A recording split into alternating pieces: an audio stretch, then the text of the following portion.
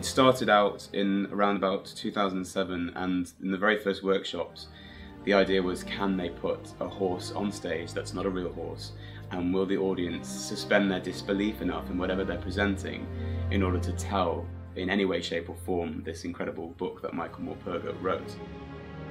We had a few weeks with Mervyn Millar, who was the puppetry director, um, just the horse teams, just to get to know each other, um, doing lots of uh, pretty basic exercises like breathing together, trying to get in sync with our breath and, and our and our bodies before we got into the horses at all. And then after that, I think there was about a two and a half month rehearsal period with the entire cast.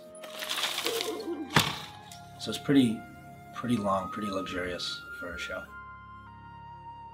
We're always learning. We're always uh, trying to be better and um, uh, inhabit these these beings. Each performance is different. Each production is different.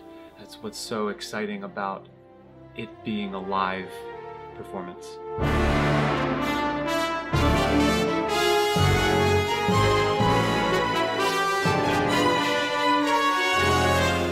It's a real honor to feel like radiating from the audience the appreciation and the investment in a show like War Horse, where we're really using the bare essentials to tell the story. It was really reinforced um, over and over and over again to never anthropomorphize the horse. Don't respond in, a, in an emotionally human way. Don't respond to, to verbal cues. You know, really keep within the life and the emotional world of this animal. And that's really unique and really requires a lot of sensitivity.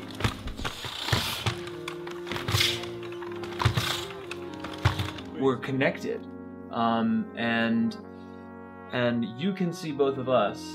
I can see you, but I can't see you, and then you can you can see me, and sometimes Occasionally, uh, yeah. occasionally, And you two are strapped into a piece of machinery. There's Yeah. no kind of escaping. I think there's something about seeing a show where the main character is a horse and it's and it's and it's being played by these three people.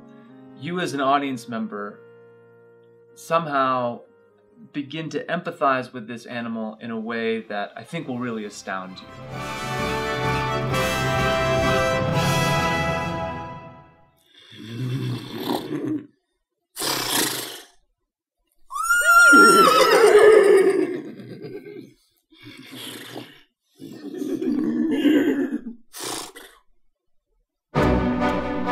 War Horse will be playing the Ohio Theatre in Columbus from April 23rd to the 28th for eight performances only.